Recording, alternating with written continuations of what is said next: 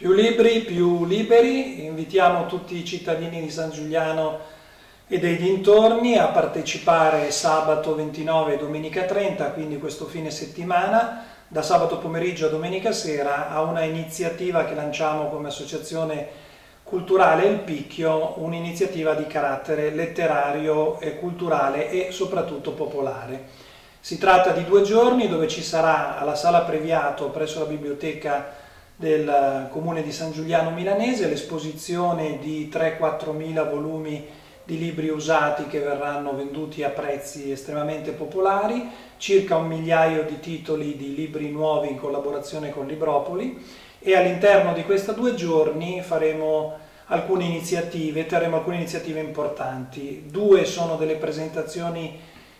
animate di libri per bambini che si terranno uno sabato pomeriggio alle 5 e l'altro domenica pomeriggio allo stesso orario e 5 incontri con scrittori non di fama ma scrittori comunque importanti. Iniziamo sabato sera con la presenza di Riccardo Sedini che è il presidente di un'associazione nazionale importante di gialli, Giallomania, che viene proprio qui a San Giuliano a presentare Gianluca Veltri e Fabrizio Borgio, Gianluca Veltri di Milano e Fabrizio di Asti, che presenteranno due loro libri. La domenica mattina facciamo un'iniziativa a carattere scientifico sulle intolleranze alimentari col dottor Virduzzo che racconterà, parlerà un po' di una delle intolleranze alimentari più importanti che sta emergendo in questi anni, la celiachia.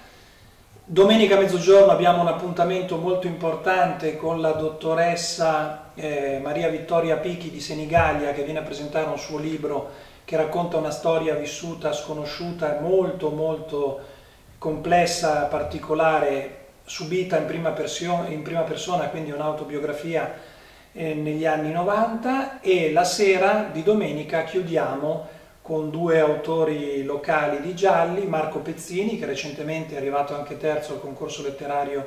Il Picchio nel settore poesia, uno scrittore di San Giuliano che ha scritto già diversi libri e se ci sarà spazio presento anch'io i miei due lavori noir che sono usciti Morte nel Trullo l'anno scorso e Chimera quest'anno.